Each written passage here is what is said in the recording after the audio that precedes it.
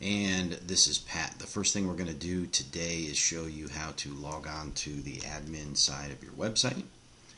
So the first thing we want to do is bring up the website and take a look.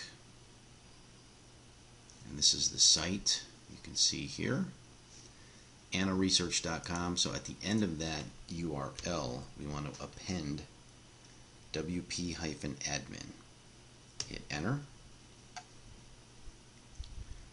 will take us to the logon. I just sent you your username and password. Put your username and password in here and click login. Initially what you're going to see is the dashboard, so we'll just have you uh, ignore most of the stuff in the general dashboard because the, the stuff that you're going to need is over here on the left. You're going to deal mostly with posts, pages, students, and the booking calendar.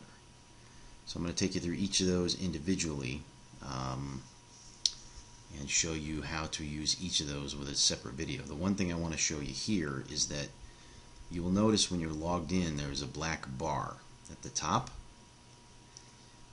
It's very easy to get back and forth from the back side to the website by simply clicking on your name here in the, in the black bar.